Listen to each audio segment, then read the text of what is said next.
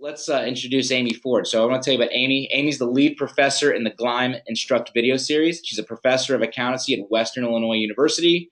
So Amy teaches financial, managerial, advanced management accounting classes. Um, Amy, before you taught, uh, you worked in public accounting. Um, I'll tell you, Amy shares her classroom expertise and her work experience to help candidates prepare um, for the topics in the exams. Um, Amy's also a CPA and a CMA, and Amy you you have an interesting distinction that you you you had you had some incredible score on the CMA, right? What what was that exactly? I got one of the the top 10 scores in the world when I took the exam. That's amazing. See, congratulations. Thank you. Amy, I think my work here is done.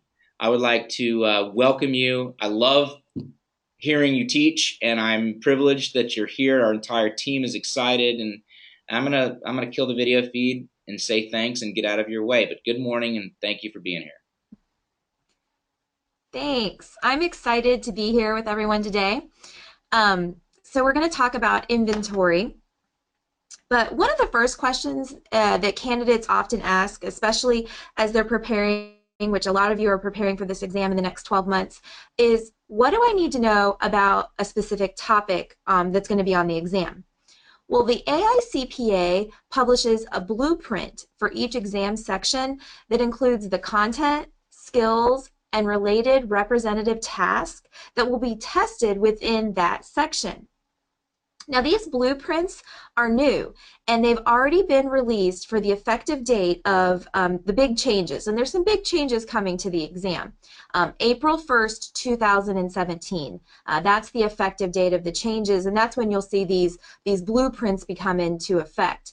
Um, the blueprints replace what we currently have, so if you're currently studying and sitting for the exam before the big changes, um, you have the content specification outlines and the skills specification outlines.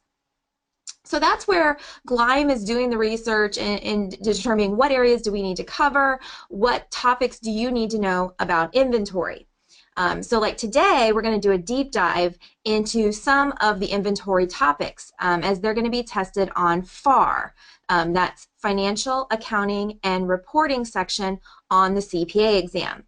And that's why I wore my shirt. I, I don't know if you can see it or not here. I'll, um, so there, there we go. Life of the party. You're going to be the life of the party when you pass the CPA exam. Uh, so that's why I wore my life LIFO shirt. I always wear this shirt when I talk about uh, LIFO in my classroom as well. So I was talking about these blueprints. Um, and so they're a guide. So the AICPA gives us this guide of, you know, how could topics be tested on the exam or what topics would appear on the exam. Um, now the AICPA makes a point to say that the top, the task in the blueprints are representative and are not intended to be, nor should they be viewed as an all-inclusive list of tasks that may be tested on the exam.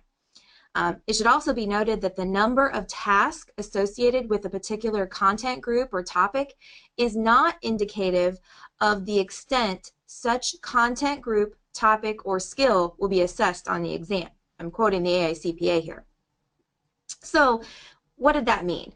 Well, in short, the list that's given to us by the AICPA is not everything you need to know for the exam. That's why Gleim goes above and beyond and teaches topics that may be on the exam and some topics that just might be useful to know related to the topic at hand.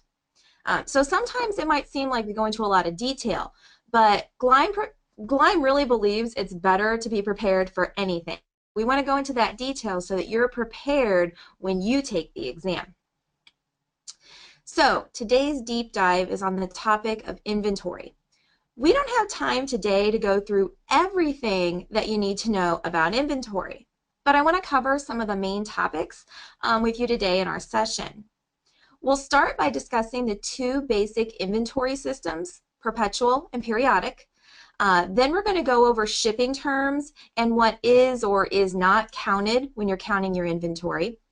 Uh, the big topic or the, the main topic that we'll spend most of our time on is going to be on those cost flow methods such as LIFO. And then we're going to wrap up with um, our last topic will be on the lower of cost or market rule. So we're going to get started by discussing the perpetual inventory system. This system is going to be used by entities that require continuous monitoring of inventory. I like to think back to my least favorite least favorite class of all time, physics. The only thing I kind of remember from that class is perpetual motion. But that really helps me remember this inventory system. In this system, in the perpetual system, the uh, inventory account is continuously in motion. Anytime something happens related to inventory, we're updating the inventory account.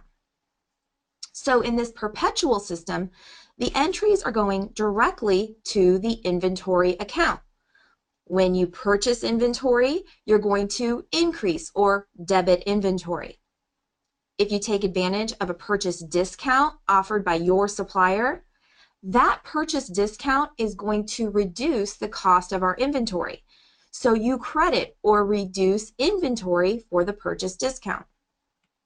When you return inventory, you're reducing your inventory. Um, another uh, item that you'll have to know how to record would be freight, freight in. Um, that's the transportation cost of getting the goods from your supplier to you. Okay, that's going to increase the cost of your inventory. So you would debit inventory, increase inventory for any freight in. Now, my students usually find this perpetual system pretty easy to remember um, because honestly, just ask yourself, is inventory going up or going down? Inventory is the account that you're continuously updating. Now, when you sell inventory in this perpetual system, it's going to require two entries. You have one entry to record the sale and one to record the cost of goods sold and corresponding decrease to the inventory account. Now, as a result of this constant updating of the inventory account, you can simply look at the current balance of the inventory account to determine the amount of inventory on hand at any point in time. So now let's move on to the other system, the periodic system. With this method, you only periodically update the inventory and cost of goods sold account. This update occurs quarterly or annually and is based on the results of a physical count.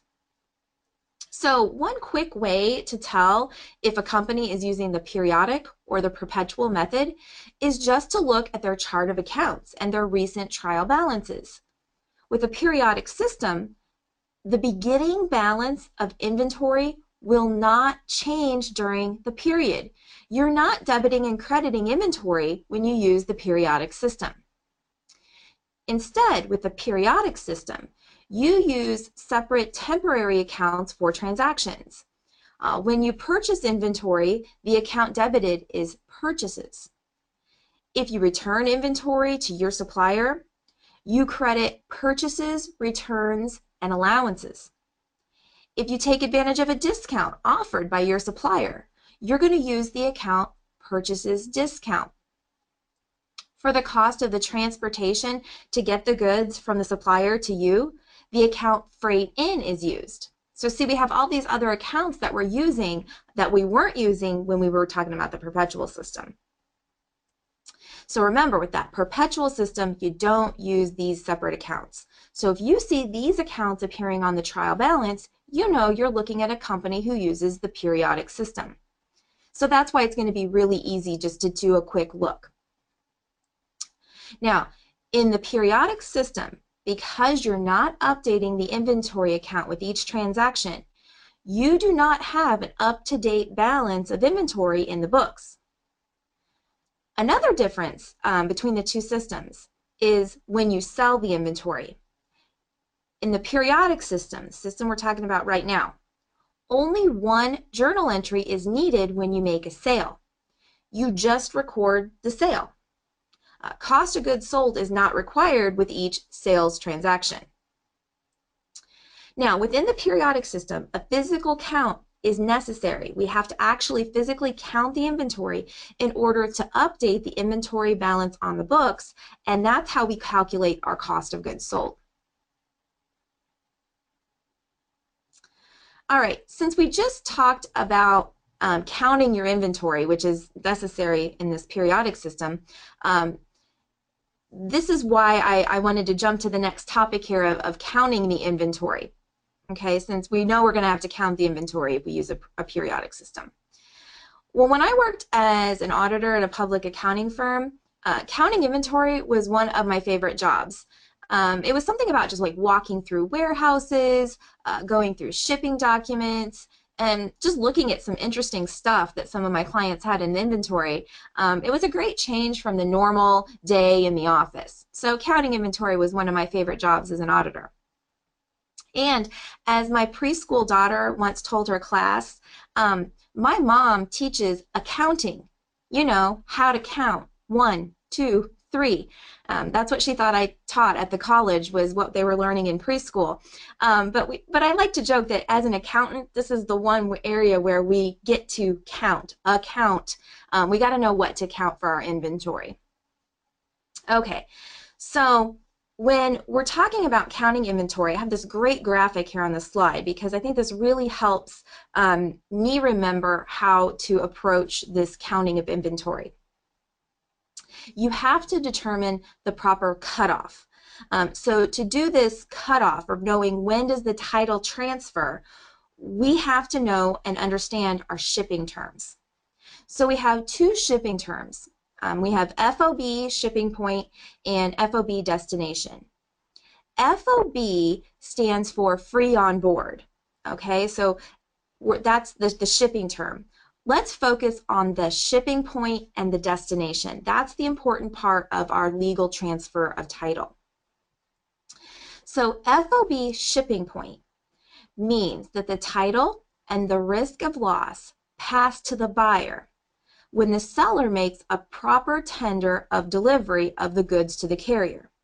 Okay, now in simpler terms, the ownership transfers to the buyer at the shipping point. So let's say we purchase computers from our supplier on December 28th. The computers are shipped on December 30th with the term of FOB shipping point and arrive at our location on January 3rd. If our year end is December 31st, the question is, are these goods included in our inventory at year end? The answer is yes. Although the goods don't arrive here until January 3rd, because they were shipped FOB shipping point, the goods were ours on December 30th when they went into transit, when they were shipped. The computers in this example would be included in our inventory count at year end. Now let's go over the other shipping term, FOB destination. With FOB destination, the title and risk of loss pass to the buyer when the seller makes proper tender of delivery of the goods at the destination. So in simple terms, and again, using this graphic here, I love this picture on the slide, the ownership transfers to the buyer at the destination. So in my previous example, if the computers were shipped on December 30th, FOB destination, the title would not transfer to us until they arrived at our location that was on January 3rd. So same dates. All that we changed was the shipping term. If the computers were shipped December 30th, FOB destination, arriving here on January 3rd, the computers would not be included in our December 31st year-end inventory count. Now remember, we talked about these um, shipping terms as we were receiving goods. These terms would also apply when we sell inventory to our customers as well. So when does our title transfer to our customer? Well, when, what is the shipping term? FOB, shipping point, or FOB destination. Now, there's some other issues that can really complicate um, this counting of inventory. Um, you would have to understand topics such as installment sales, um, right of return, and consignment. Um, we don't have time to go through these topics today, uh, but rest assured, rest assured, Gleim has you covered and includes in-depth coverage of these topics in the Gleim CPA review system. All right, now let's practice with a retired CPA exam multiple choice question. Um, the Gleim CPA review system has a mega test bank full of questions for you to practice with. So I picked some really good ones today from the inventory section so that we could practice with some of our concepts during the deep dive. And um, from our poll at the beginning, um, almost half of you are out there working. Um, you've got that two plus years experience. It maybe has been a while since you took a test where you had to um, read multiple choice questions and, and find the answer. Um, the other half of you are currently still in school, so you're used to this. But um, practicing with multiple choice questions is really uh, crucial, and I think it's a really great way to, to practice with the material and, and to study to prepare for the exam. So we're going to do several of these uh, together today. So here's our first one. Um, her company's inventory at December 31st, year one, was 1.5 million based on a physical count priced at cost and before any necessary adjustment for the following. Okay, so our inventory is at 1.5 million. Merchandise costing $90,000 was shipped FOB shipping point from a vendor on December 30th, year one, and was received and recorded on January 5th, year two. Goods in the shipping area were excluded from inventory, although shipment was not made until January 4th, year two. Uh, the goods billed to the customer FOB shipping point on December 30th, year one, had a cost of $120,000. Okay, so we've got all this data, and then here's our question. What amount should HERC report as inventory in its December 31st, year one balance sheet? This question focuses on your understanding of the FOB shipping terms that we just talked about. Instead of simply asking the definition, this question takes it a step further and asks you to apply the knowledge um, that you have about shipping terms to determine the ending inventory for the balance sheet. Um, so this is a great example of a CPA exam multiple choice question. Okay, so let's just identify and look at each of the bullet points. Okay, the first bullet point, the $90,000 was shipped FOB shipping point. The title transferred when it was shipped on December 30th. So even though these goods are not here yet, they should be included in our inventory. Now let's take a look at the next bullet point. These goods were excluded from our original $1.5 million physical count. Let's review the term and the dates though. We are shipping to our customer FOB shipping point. We don't actually ship until January. So at year end, these goods are still our inventory. We should include this $120,000 in our year end inventory. So the correct answer, it's the 1.5 million plus the 90,000 from the first bullet point plus the 120,000 from the second bullet point. So that gives us an answer of $1,710,000. So the correct answer is choice D.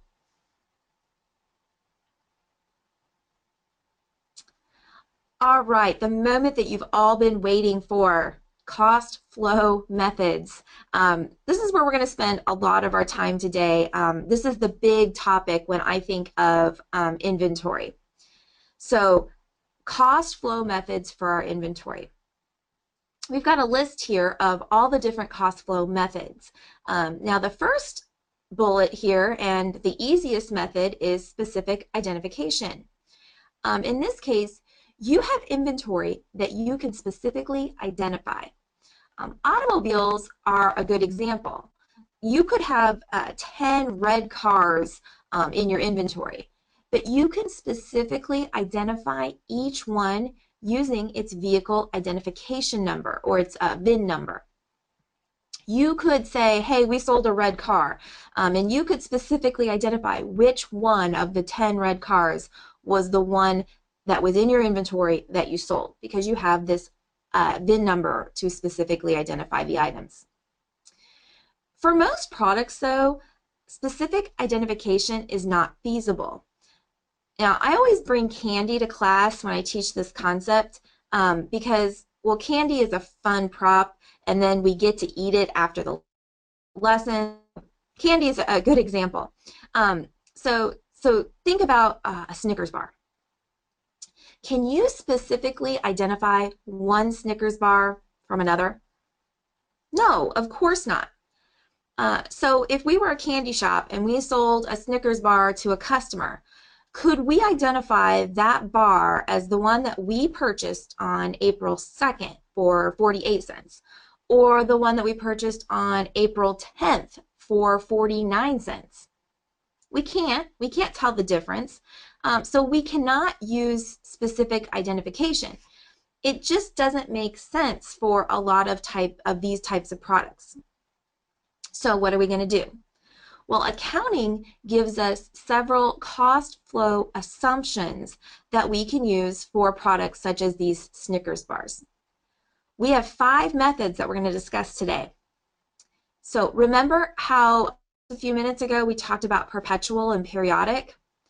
That also comes into play when we talk about these cost flow assumptions.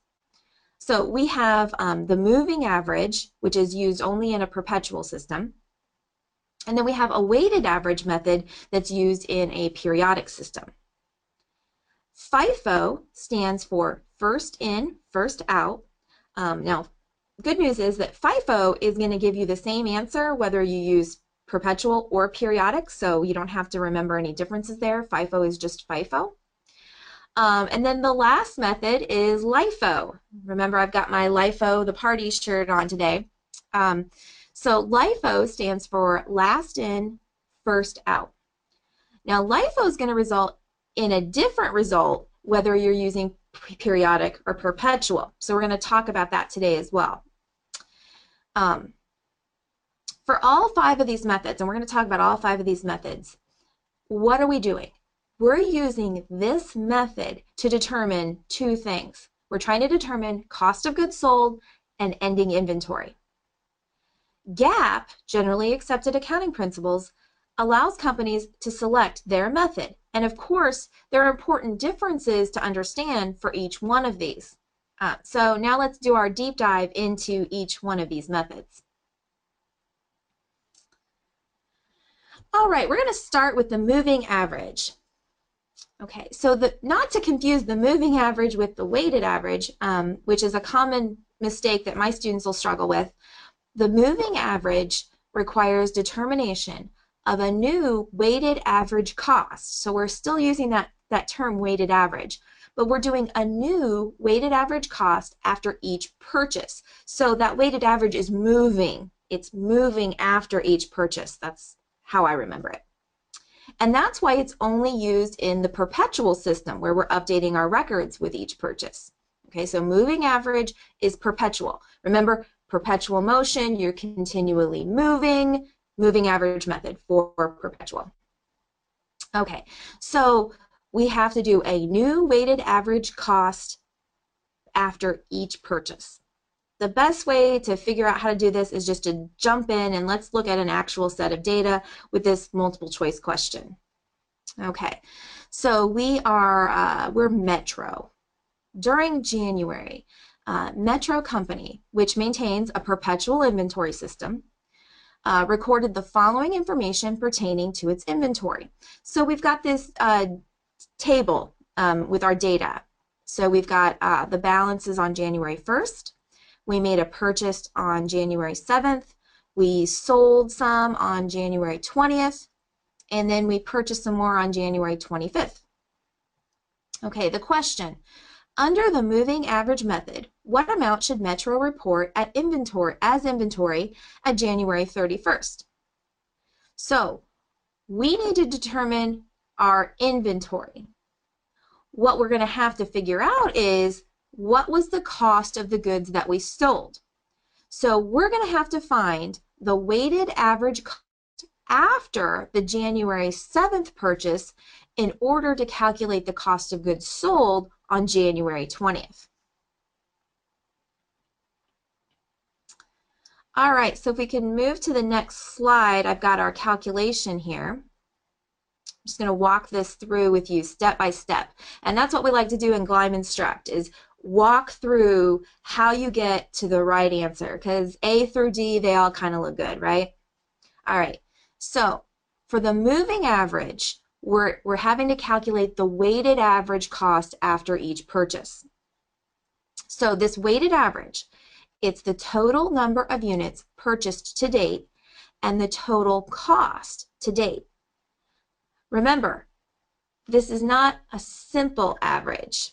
Um, so a simple average, that would be so easy, right? A simple average would be um, 1 plus 3 uh, divided by 2. So, um, you know, we had the first, uh, the beginning balance had a cost of a dollar. The purchases on January 7th were a cost of $3. 1 plus 3 divided by 2 is 2. That's an average. But that's a simple average. And I have seen more than one student make that simple mistake. So I, I want to make sure that you know, look at the weighted average. The weighted average takes into account how many units we have at each of the unit cost. Um, and so I know about half of you out there are still students right now, so this is an easy way to remember this. Um, think about your GPA. A three credit hour accounting course weighs more heavily into your overall GPA than a one credit hour uh, stress management class. So um, that's how this would work with the weighted average. The more units we purchase at that cost, the more heavily it's weighting into the average cost. So what are we going to do? For the moving average, we take our total cost, which is $2,800, and we divide it by the 1,600 units, which gives us a moving average of $1.75. The cost of goods sold on January 20th is going to be the 900 units times that, that average that we just found, $1.75. So the cost of goods sold is 1,575. Now remember, they didn't ask us the cost of goods sold. They asked us the ending inventory. But now that we've figured out the cost of goods sold, we can come up with the ending inventory. So our beginning inventory was a thousand. Then we add in the purchase on January 7th of $1,800. We subtract the cost of goods sold that we just calculated, the 1,575. And then we add in that purchase, um, that last purchase, which was $2,000. Our ending inventory balance is going to be 3,225. So answer B is the correct answer. Remember, we use the moving average method in a perpetual inventory system. Um, so just to kind of elaborate a little bit further, what if this question, what if we had sold more units on January 27th? Well, we would have had to find our, our new moving average after the January 25th purchase to calculate the cost of goods sold on the January 20 for January 27th in my, my made up example. So remember, it's moving um, each time, okay? So that's the moving average method. Now let's move to the weighted average method. Very similar to the moving average, um, but the weighted average method is going to be used in a periodic system. The average cost is only going to be calculated at the end of the period. So weighted average only at the end of the period because we're using the periodic system. All right, we have um, a very similar type of problem, okay? We are now Trans Company. We use a periodic inventory system. And they've given us our inventory transactions for the month of January. Um, they use average pricing, which means weighted average, okay, to determine the value of their inventory. Now this time, they don't ask us the ending inventory. So make sure you, you answer the question that they're asking you they ask us what should be the cost of goods sold reported on the income statement. Now, another thing I want to point out before we jump into the problem, notice how this problem, you know, they gave us this, this table or the given data um, in a slightly different format than our last question. Um, the last question gave us the number of units, um, then the cost, and then the total cost for each purchase. This question didn't. Okay, that's okay um, because of course we can find the total cost of each purchase. I just wanted to point this out to you. Um, that's another reason just to practice, practice, practice these multiple choice questions as you prepare for the exam the more scenarios that you work through and practice, um, you're not just memorizing, you, you really do understand the material. So if it's presented to you in whatever way it's presented to you on, on your exam, um, you're prepared and you're ready and you're going to get that question right. Okay, so now let's walk through um, my calculations of, of how to approach this problem. Okay, so the first thing that I did was I set up a table to find the total cost of each purchase. Um, I took the units purchased times the cost per unit. Um, so that's how I got that that that end end column on the right. Um, you know, so 10,000 units times three was 30,000. Um, that's how I got the 20,000 and the 25,000. Okay, so next we just need to find our totals. Um, the total number of units uh, during the period and the total cost. We add all the purchases together to get a total of 20,000 units and a total cost of $75,000. The weighted average cost per unit is $75,000 divided by 20 units, which is 375. So we're going to take that weighted average cost per unit times the number of units sold, 10,000, to get to our answer um, 37,500. That's our cost of goods sold. So answer B is the correct choice. All right, now for LIFO. Last in, first out. We're going to be the LIFO of the party. That's why it's my favorite shirt. All right, this inventory cost flow assumption assumes that the last items in are the first items sold. The newest items of inventory are assumed to be sold first. Where this method can get tricky is that you can get different results for periodic and perpetual systems. Using LIFO for the periodic system, the cost of goods sold and the ending inventory are determined only at the end of the period. That's the periodic system.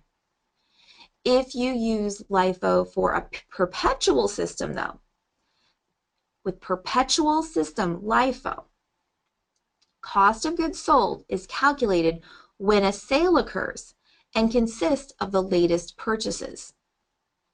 I think the best way to, to learn this material is just through practice with actual data. And I have the perfect multiple choice question for us to walk through this concept together. All right, this question is ideal.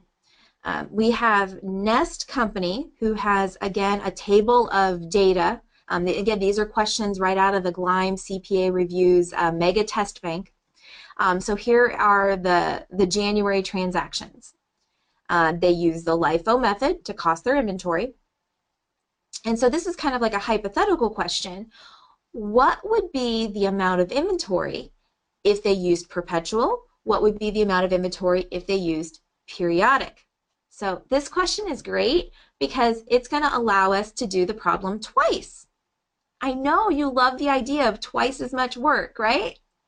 Um, but honestly, this really points out the differences so that we know for sure if you get a LIFO problem, you know how to do periodic and you know how to do perpetual. Okay, so this first time through the data, we're going to focus on LIFO perpetual.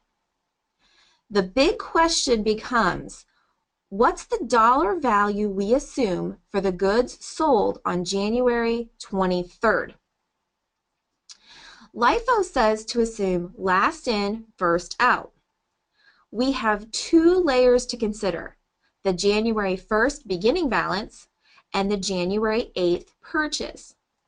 Remember, in LIFO perpetual, the cost of goods sold is calculated when the sale occurs on January 23rd. That means we ignore the January 28th purchase when we're calculating the cost of goods sold on January 23rd. Okay, 1,800 units sold. Those are assumed to come from the most, or they're assumed to come first from the most recent purchase, LIFO. Okay, so the most recent purchase for those items that we sold on January 23rd, that would be the January 8th purchase. Now notice, this is the next step that um, where my students sometimes struggle, at least the first time through the data. The January 8th purchase was 1,200 units. That means that we assume all 1,200 units were sold on January 23rd. But remember, on January 23rd, we sold 1,800. Where did the other 600 units that were sold on January 23rd, where did they come from? The next most recent layer.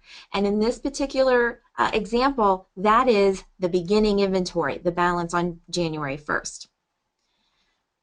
Okay, our question asks us the ending inventory. Now that we've gone through the hard part, right, we figured out which units were sold, we can figure out which units are still here in ending inventory. Remember, inventory has two steps. What we have, it's either here or not here, right? It's either sold or, which means cost of goods sold, or it's not sold, it's still here, it's an ending inventory. All right, so our beginning January 1st inventory was 2,000 less the 600 that we assume were sold on January 23rd, which means that 14 unit, 1,400 units remain in ending inventory. None of the January 8th purchase are still here. And then all of the January 28th purchase are still here in ending inventory. Using LIFO perpetual, ending inventory is $5,400. Whew. Now we have to do the whole thing again. yes, we have to do this again, but we have to switch to the periodic method. Under this method, so LIFO periodic, cost of goods sold and ending inventory are determined only at the end of the period. What I like to do is I like to reorganize my table. Um, so notice how I list all the purchases, then all the sold because um, we're going to do this all at the end of the period when it's periodic. So, um, so I like to have all my purchases together in my table. So then I can look at, at the layers uh, to determine the ending inventory at the end of the period. Remember, last in, first out, LIFO. The last layer is the January 28th purchase. So we assume all 800 of those purchases are sold this period. Then we go to the next most recent layer, the January 8th purchases. We sold a total of 1,800, so we assume the other 1,000 units come from the January 8th purchases. That means our ending inventory. So we've determined what was sold, so now we can come up with what wasn't sold, the ending inventory.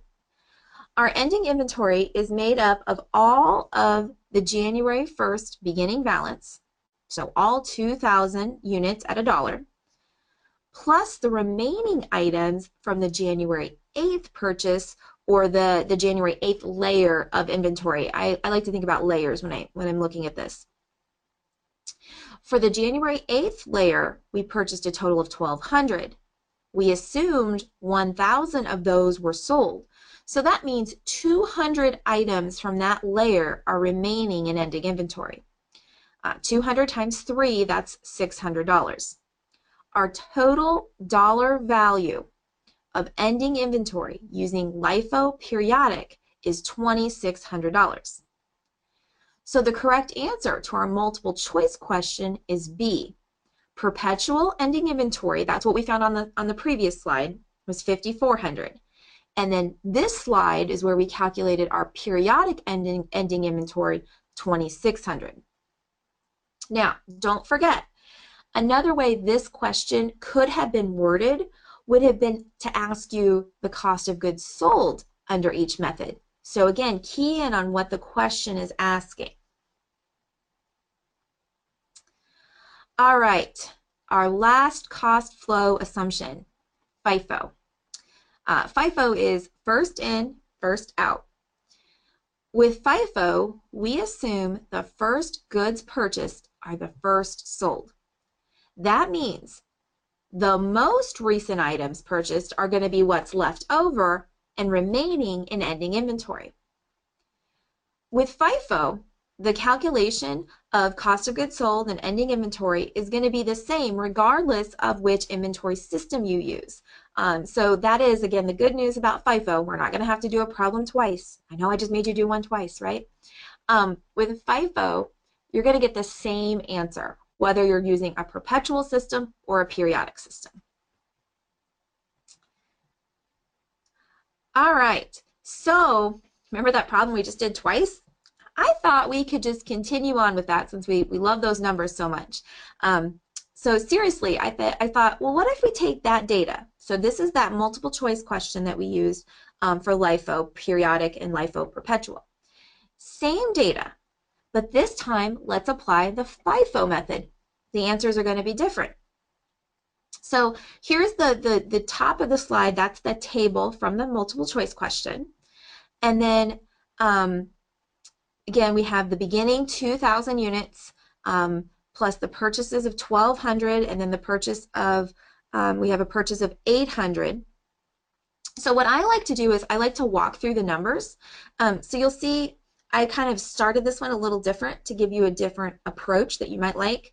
Um, so if we said we had 2,000 plus 1,200 plus 800, that means we had 4,000 units available for sale.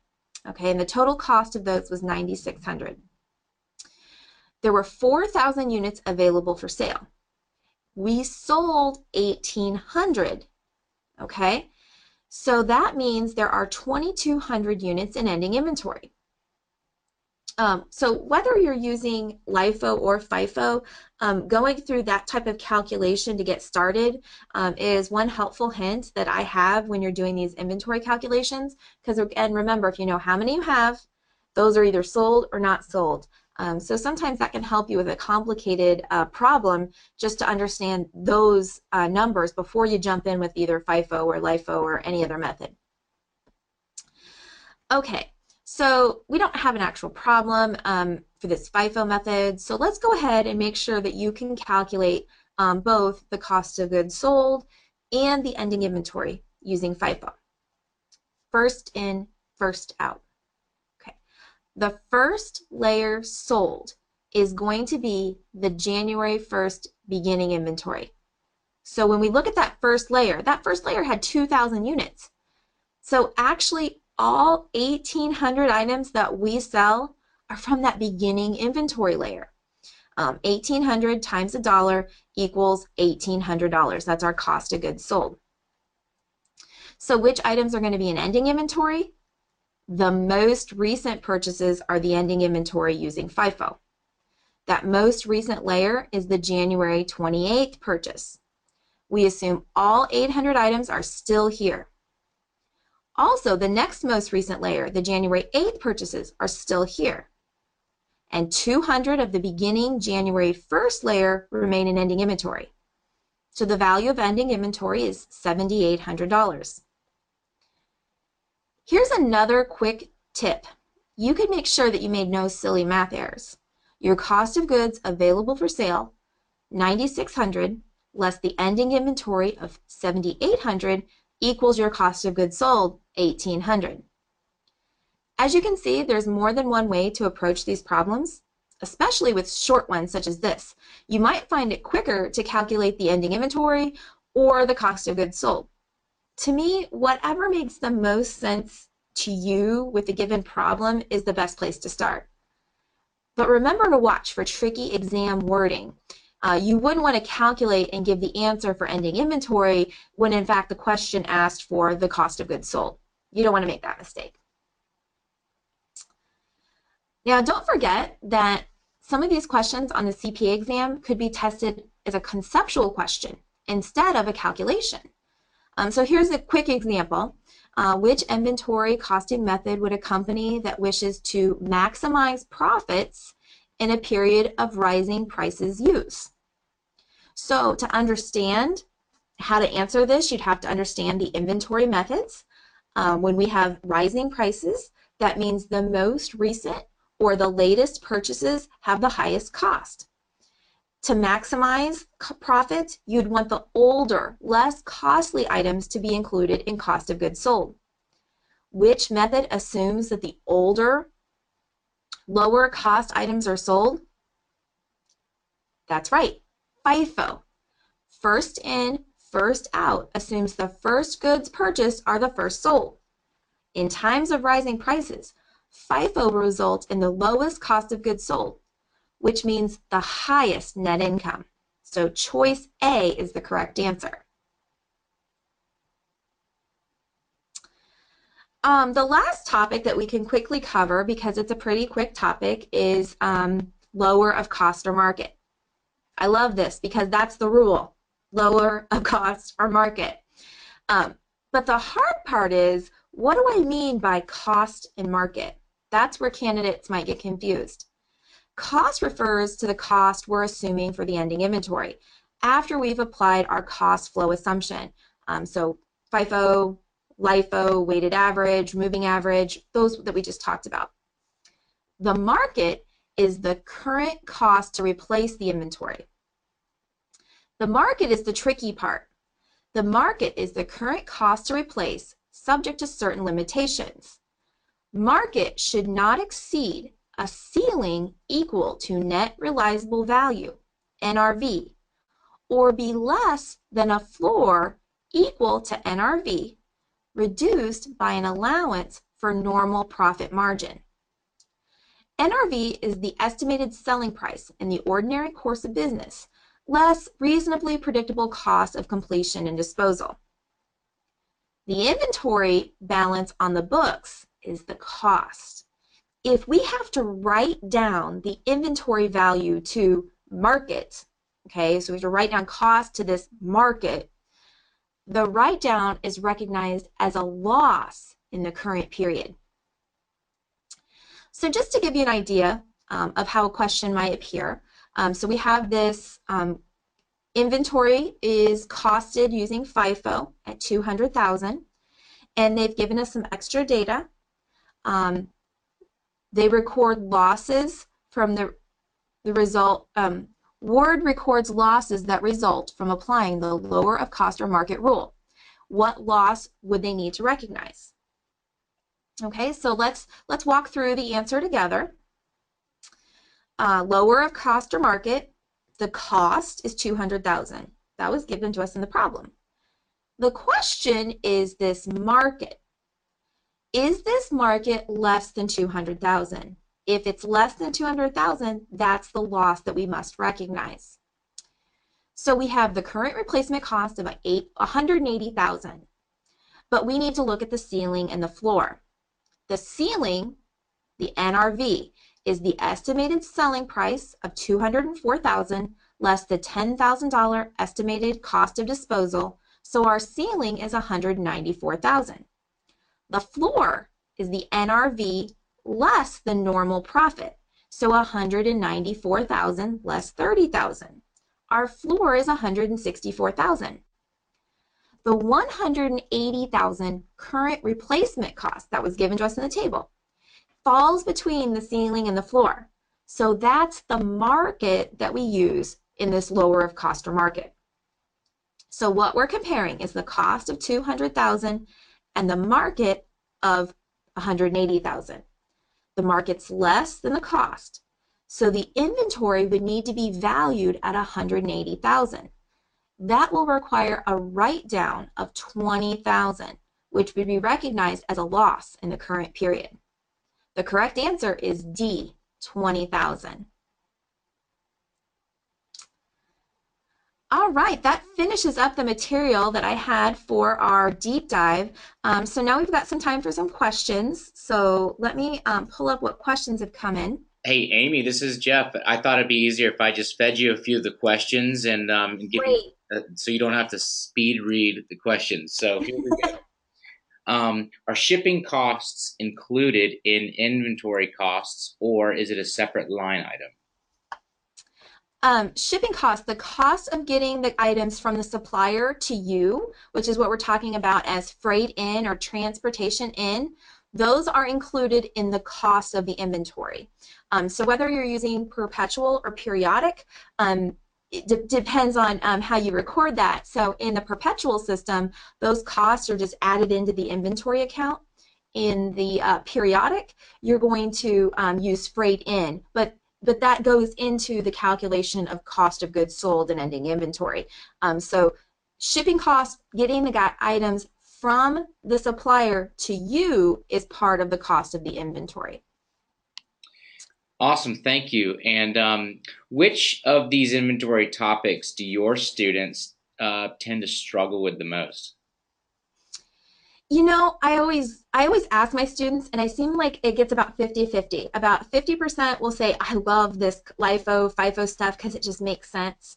Um, the others will say they really like um, our textbook and a lot of the books go through perpetual periodic side by side. If you're a journal entry person, um, maybe you like that that comparison of perpetual and periodic, understanding the differences. So my experience is about 50-50, um, and and it's like I think those cost flow assumptions, LIFO and FIFO, once they click, they really click. And so you practice and practice and you really do understand them. For others, it just takes a little bit more work. So that's not a very good answer, but I would say it's about 50-50. It's, it's, it's, it's a good, it, no, it's a great answer. And it's a really interesting question where, where people tend to, you know, um, have to work harder on this. And I've got a question for you. So you're a CPA and you're also a CMA. Um, why did you go for both designations? Um, I took the traditional CPA route right out of college, like most um, accounting undergraduates and graduate students. Um, and so I got my CPA. I worked in public accounting. Um, for me, um, I went into teaching after being in public accounting, and um, I I approached the CMA exam as um, 10 years after graduating from college, you know, as a, as a professor, because I started hearing all the statistics and saying that, you know, most accountants work in public accounting for two to five years and then go into the industry. Right. And when you go into the industry, that's when you need the, the topics that are on the CMA. So I think it's it's thinking about career choices and career paths. Um, so for me, it let me have a good understanding of both types of career paths that the students are going to be taking. I would agree. Um, there's there's so many good um, things to evaluate on each of those. Well, let, let, last question is about the CPA exam in general, because that's why we're all here. What's what's um what's the one piece of advice, sort of your your biggest piece of advice that you would give to a CPA exam candidate, Amy? You got to be prepared. Um, and when I talk about being prepared, it's being prepared to not only know the information, but be able to apply the information to the questions. Um, and that's what I was trying to really do with you guys today. Um, you could understand LIFO, but could you do that conceptual question about the, the, the times of rising prices, the understanding the difference between LIFO and FIFO? Um, so for me, that's the being prepared is just the practicing. And so, um, you know, Gleim's Mega Test Bank, that's where I would spend a lot of my time. You know, once I know I've, I've learned the material and I understand the material, can I do the questions? And then you, I, we haven't even talked about simulations and, and essays today, but you know, could you do that? Could you physically sit down and spend time doing lots of multiple choice questions? Um, prepare yourself for the actual exam day. I always tell people studying is like preparing for a marathon. You don't go out and run a marathon on day one of training. You you have to practice and you have to prepare. So that's my best anal- analogy. Um, they'd be lucky to prepare with you, Amy. I I, I uh, enjoy your teaching so much, and I'm I, you know you not only do you make people laugh, but um it, you you you get the topics in a way that people can understand and grasp it quickly. So thanks for for what the, what you do. Um, before we wrap up, so a couple of